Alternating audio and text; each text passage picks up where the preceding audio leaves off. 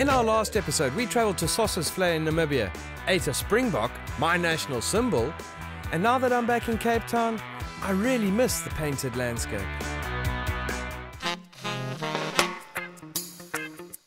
Goody goody. When I consider our history as a species, human beings have been nomadic scavenging beach bums and bush babies for far longer than we've lived in houses or had running water. If it squirted, squeaked, or breathed, it invariably ended up being slapped on the coals and cooked in the great outdoors. And it's only in the last couple of hundred years or so that we've forgotten the knowledge that made us the most successful hunter gatherers and gastronomic kings and queens on the planet. My name is Justin Bonello, and welcome to Cooked.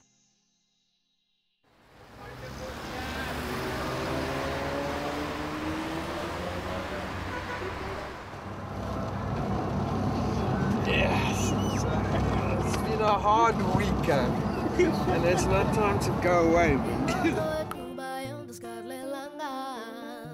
So we've been back from our overland trip for two weeks, and uh, two weeks too long in my mind because being back in the city really sucks. So we're on our way up to Swellendam to my mate Richard's house. It's called Schooneoord Country Estate, or Country House. But our trip there wouldn't be complete without stopping off at Willie's Bush Pub. It's a cold day. Normally we come here on a hot day for a cold one. So we're gonna come here for a cold one on a cold day. Break our journey. Hello, how are you? Long time, eh? Yeah. Yes, I thought, I thought you were overseas. London. Kuba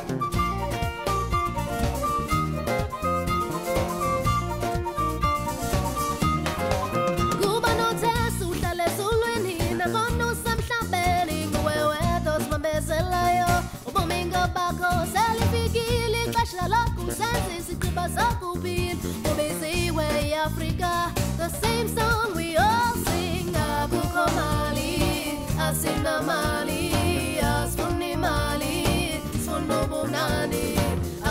bumnandi asinamnandi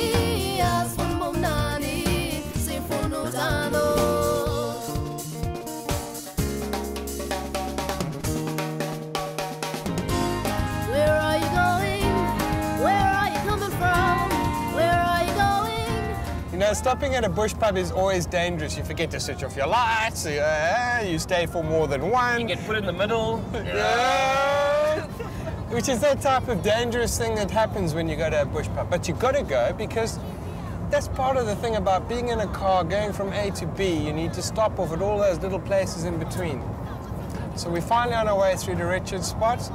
These hands you're gonna see dirty, covered in paint.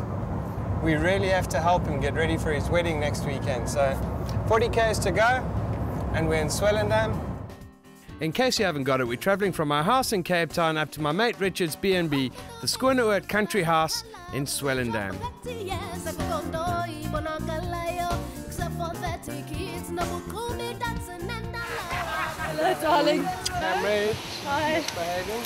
John, the jacuzzi needs to be knocked out. We don't need to keep the tiles. We can keep the. Uh, Now, this is how serious it really is. Richard, Roy, and Ali need our help to get ready for a wedding that's going to happen in less than seven days' time. I, however, am going mushroom picking. Might just be you and me. I brought my basket and everything. We'll quickly leave them to carry on and see what happens. So we're following Paul Slubber. Oh, I can't pronounce it, but he's, he, he, he has a little pottery here called the Buck, Bunken, Buckenberg. What was it? Was it the Buckenberg? The Buckenberg pottery. And he's taking us to where we can get some ceps, hopefully. I mean, it's the wrong season for it because in Cape Town you never be able to get ceps in, in November. So I'm quite interested to see what happens. But I'm planning this wild chicken, wild mushroom and chicken pie for this evening. Hallo Eileen, aangename kennis. My naam is Justin. Mooiste. Dankie. okay. Kom allemaal in. Hallo Frikkie, aangename kennis. Hello, Frikkie Roy Hunter. Uh, kan het? And they're just going to show us some mushrooms, what we're going to be picking in the forest. Frikkie's going to take us in a couple of moments. Come through, Ev. Okay, so while Justin's out picking wild mushrooms, we've got four roast chickens on the go here. So the way we do this is we've got a bit of thyme, rosemary, and each chicken is stuffed with these two with onions, these two with lemons. And for all you people who want to baste chickens, a normal syringe can do the job. Just a quick word of advice. If you're going mushroom picking, take someone along with you who knows exactly what's edible and what's not. Because there's mushrooms out there that can kill you in 24 hours. No cure.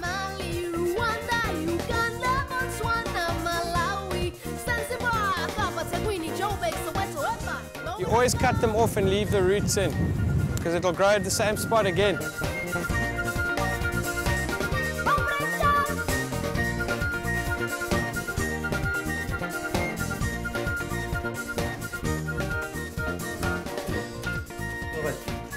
Cheers. Baie dankie. Dis baie mooi. Ek wil net baie I just want to say thank you very much for taking us into your part of the world and showing us your mushrooms. Thank you very much and for the tasting of your fantastic liqueur. Yes, it's very nice. That very nice honey liqueur was very deadly and left me somewhat incapacitated for the rest of the afternoon. Thank goodness I was only having to cook dinner much later on.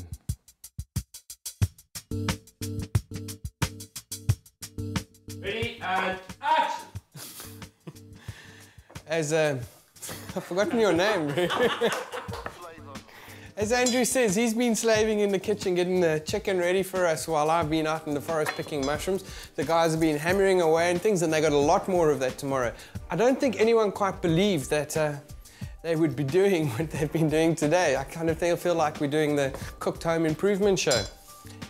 Any case, the guys are hungry, so what we're going to do first is make up a wild mushroom and chicken pie. It starts off with these, so Andrew, don't you come and help me with your chickens? He's very proud of these. He only burnt the one.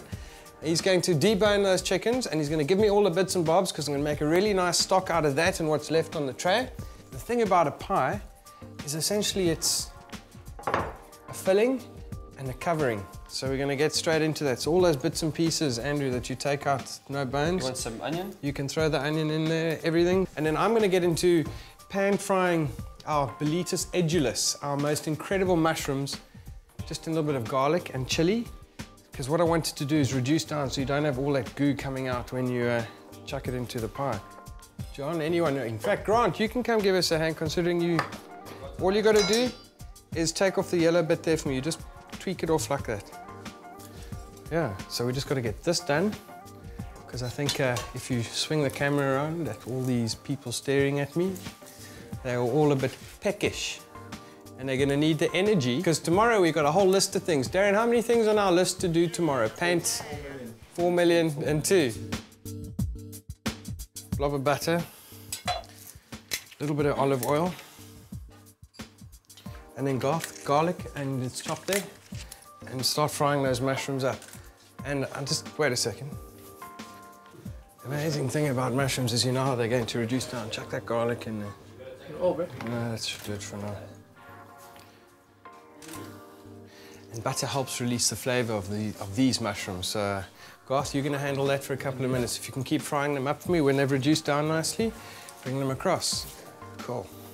So if uh, Mr. Faber can just finish up with this side, I can make a stock because really what I've got to do now is make a bechamel sauce, which essentially is 60 grams of butter to 125 grams of flour, 250 mils of cream, 750 mils of milk. I can add the stock in. And then we're going to pour that over everything. When Garth's finished with the mushrooms, Faber's finished with this. Did that all make sense? Yeah. Perfect. Bechamel sauce with the stock flavoring all over your chicken and wild mushrooms. Thyme, fresh thyme. To wet the edges of this, just to help the pastry stick on it. That'll give it a double layer of pastry on the outside edge. Now, puff pastry, what you do with it is when you cook it, you uh, put it in the oven for 20 minutes at, 100 at 220 degrees Celsius. And then you reduce the heat down to 190 for the last 20 minutes, at which stage pie will be fantastic. The tricky part here, if you don't want the pastry to collapse in when it cooks, stick a onion in the center of your pie.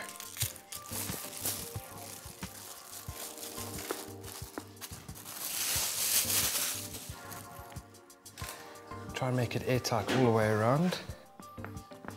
And we're just going to trim off the long bits, but we can make those into decorative things on top of the pie. Using the back of a knife, you can just give your edges some detail. And it's also squashing it down.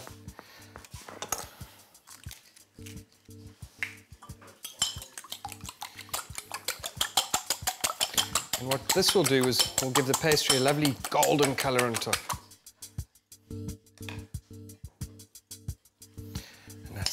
It's ready to go in the oven. So all that's going to happen now, it's going to bake at 220 degrees for 20 minutes. So we're going to drop it down to 190 degrees Celsius for another 20 minutes, and then we're ready to eat. And this is going to be had with a little bit of an avo, apple, fresh cream, and uh, lemon juice salad with a whole lot of fresh leaves and stuff, and that's that. Dinner outside 40 minutes from now. Sometimes I might seem unconventional. Sometimes I try to avoid the usual. But people try to tell me how to live. I try to live my own life my own way. You know I think you are so beautiful. So beautiful. The way you dance along the street. While you're dancing, while you're dancing. You give me hope, you help me to believe. You bring the sunny skies to me. Let me live my life. Oh, let me live my life. Let me spend my time. Oh, spend my time. Go and live your life. Dinner's done. It's a long day ahead of us tomorrow. Everyone's got like all their allocated tasks, and I think everyone's going to retire early tonight.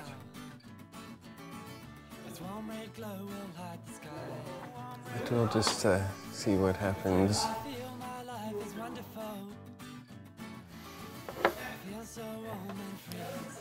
I feel like clawing the table. Jeez, that was horrible. You put the egg in your mouth and you chew it till it's nice and pasty. Then you put some salt, Tabasco, swish it up nicely, and then you hmm. swallow it with the tequila. So like oysters. With Yeah. the shell. With the shell stuff. yeah, so first the egg. Oh, put it in your mouth and chew it. Oh, let me live my life. Let me live my life. Let me spend my time. Yeah!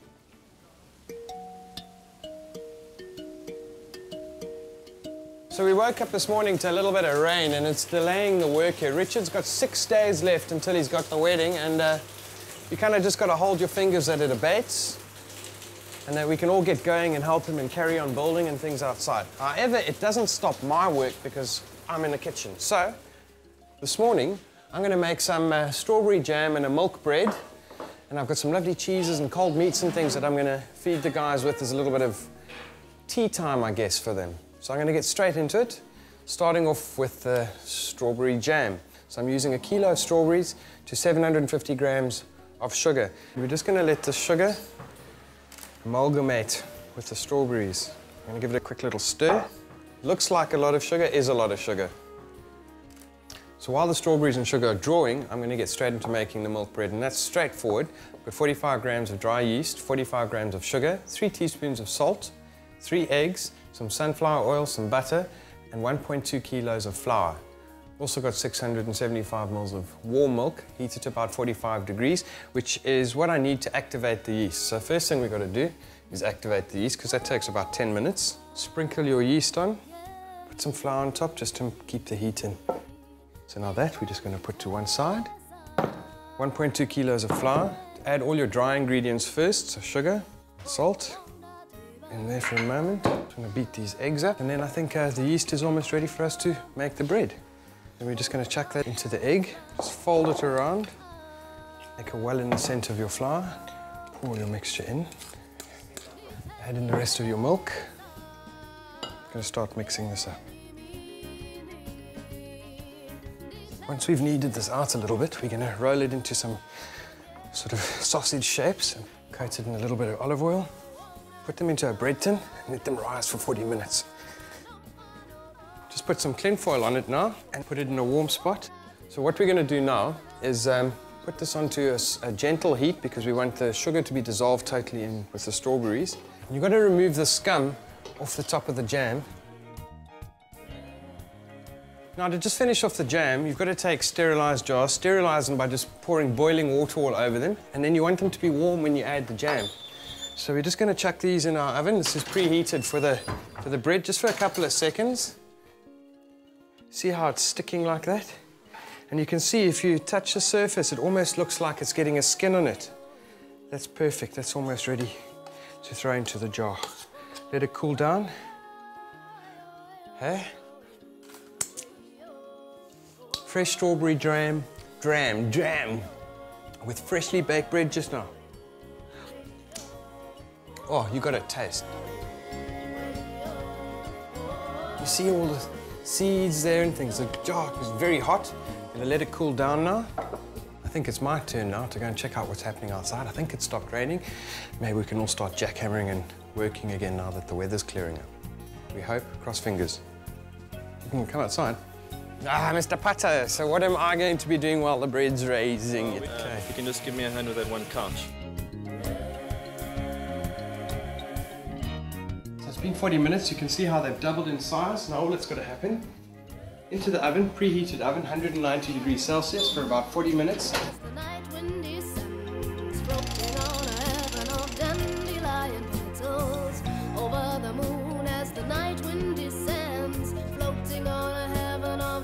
Come eat, man. Bread's on, come, it's just come out the oven, Richard. So while everyone's coming up, I'm gonna have the first taste. And I love the end of the loaf.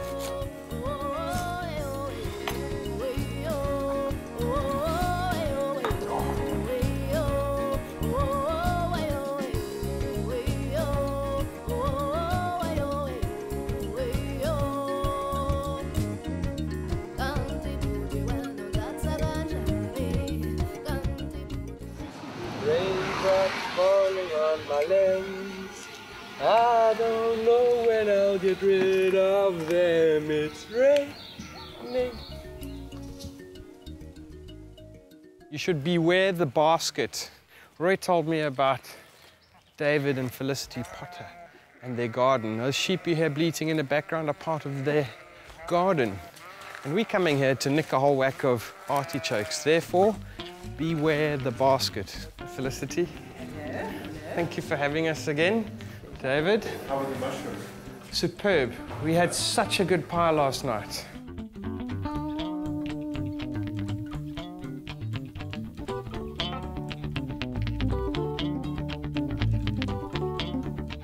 I have an organic vegetable garden and it's nothing like David and Felicity's one. They have absolutely and utterly everything growing under the sun right here. And that fresh garlic with a couple of fresh artichokes is going to turn into a perfect little pasta dinner later on.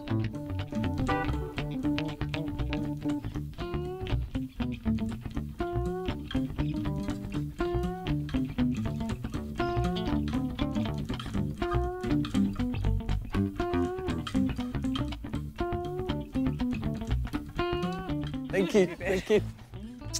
I'm not going to kiss David though. Back to the house to cook. Help him get there. Thank you so much for everything. right now, the artichokes that are in the basin over here have been in there for sort of, I don't know, half an hour, salting in salt water. Now, what that'll do is kill any bugs that have been lurking around in the leaves. Right, now before I boil these up in some salted water, I've just got to cut the stems off and we're going to throw them in a pot, bottom side down first. Straight in. And stalk side down. Sal jou bliksem, né? You're trying to make them smile because they look so miserable cooking with you. Right, 30 minutes, and we'll come to a taste test. It's time for a drink outside of everyone and to admire the work that we finished.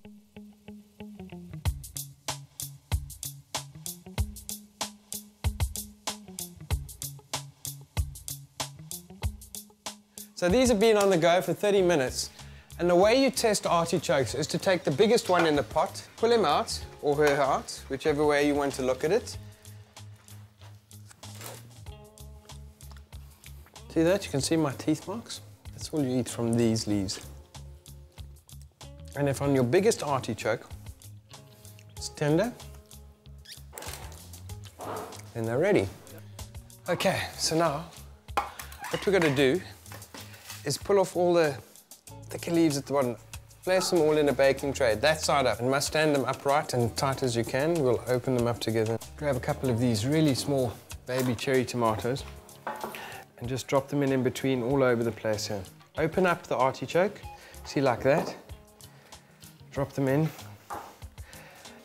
What we're going to serve this with is a, just a tagliatelle, and we're going to take all these leaves, drizzle some olive oil over it, some fresh garlic that's sitting in the zinc over there, and uh, some chili. Toss that all together with some fresh tagliatelle. Serve it with one of these, some oregano, because that's always bloody marvelous with tomatoes.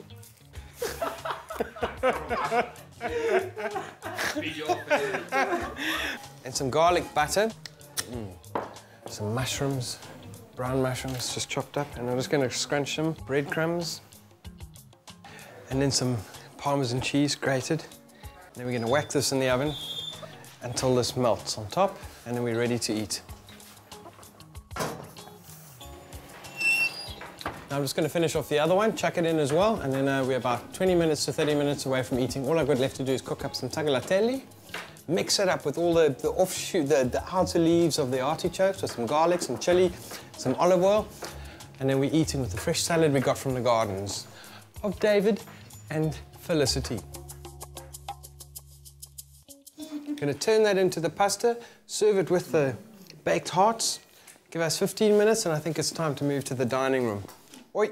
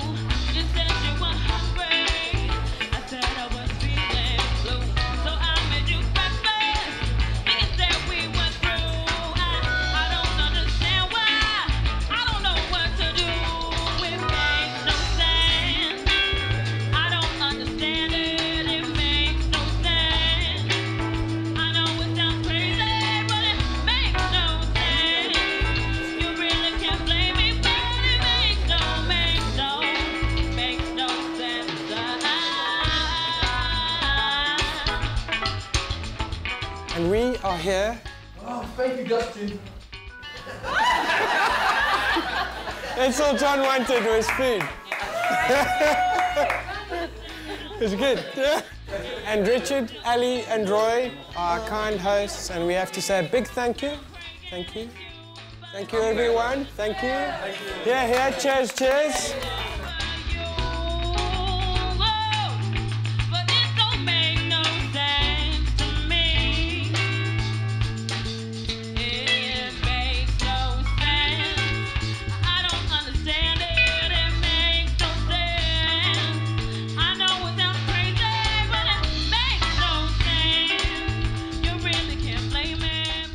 Stopped off for a little quick bite to eat on our way home from Swellendam at Demolin, which is um, Gareth Beaumont's folks' place. It's on the R60 between Swellendam and Ashton on the old Montagu Road. And yeah, it's, we're really here because this isn't the end of the episode, because we could never do justice to Richard, Ali, and Roy's home and their Schooneoord country estate if we didn't go back and show you what it's actually going to be like in three months' time. So we're just going to have a bite to eat here, and uh, we'll show you what their place is going to look like in a couple of seconds.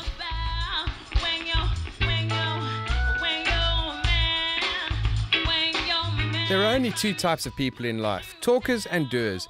Richard, Ali, and Roy are doers, and they've turned one of their pipe dreams into reality, and you've got to respect that. So if you're ever out that side of the world, get into Swellendam and check out Schooneoord because they'll treat you like you're part of the family.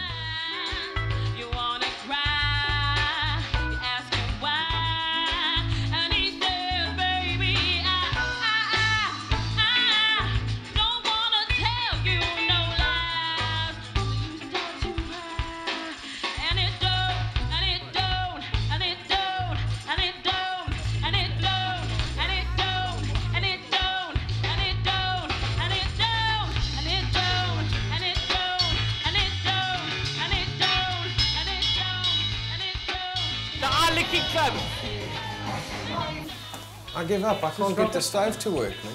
So I get off stage, right? Drop the mic, walk up to these hot chicks. I'm all like, "What's up, ladies? My name's Slim Fabi. I'm the key grip and in Swellendam, baby." I'm like,